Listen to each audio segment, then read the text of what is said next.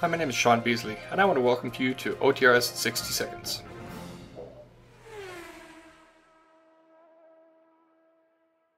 Today I want to talk to you about deleting tickets. This can be done per generic agent. Let's take a look at an example. If you log into your system, here we see a support queue with three tickets.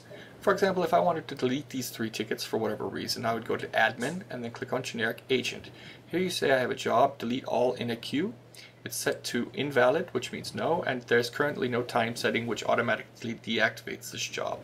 So let's select our support queue, scroll down, take note of the warning that these tickets are permanently lost, which you'll see in a second here, and then select delete tickets to yes. So this job's invalid, it can only be manually run. Let's go ahead and click submit. We'll get an overview screen listing the tickets that would be affected and then we can choose to run this now. I hope you've enjoyed watching this instructional video and have found it informative. If you have any chance to leave a comment, please feel free. I enjoy every one I get. Thank you.